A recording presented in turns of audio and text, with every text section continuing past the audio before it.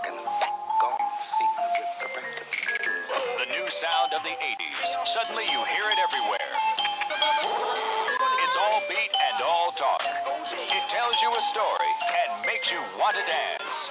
Steve Fox examines an overnight phenomenon, rapping to the beat.